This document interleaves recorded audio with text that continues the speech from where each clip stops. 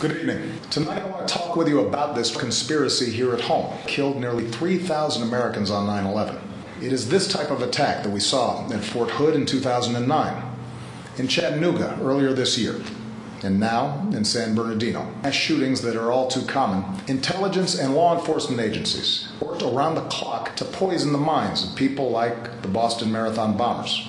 And since the day I took this office, I have authorized U.S. forces to take out every aspect of American power. Here's how.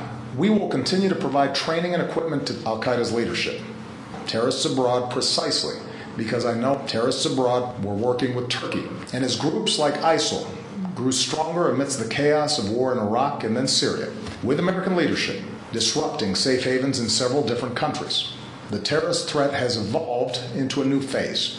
If we occupy foreign lands, they can maintain insurgencies for years. We're deploying special operations forces who can accelerate that offensive. Well, here's what I want you to know. We've stepped up this effort since the attacks in Paris. As we've become better at complex, multifaceted attacks like 9 11, the threat from terrorism is real.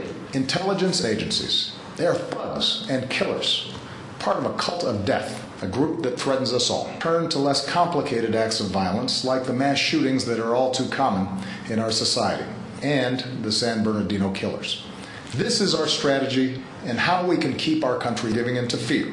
It is designed and supported by our military commanders, Congress, and intelligence agencies, and American leadership. And that's why I will urge high tech and law enforcement leaders to use technology to make it harder to escape here at home. Now, to begin with, Congress should go ahead and vote to authorize the continued use of military force, sending a new generation of Americans overseas to fight and die for another decade on foreign soil. Congress should act to make sure no one is able to buy a gun. All Americans. And we're working with members of both parties in Congress to do exactly that. That betrayal is a matter of national security. My fellow Americans, I am confident we will succeed in this mission. I have no doubt. Let's not forget that fear is more powerful than freedom. Thank you. God bless you, and may God bless the United States of America.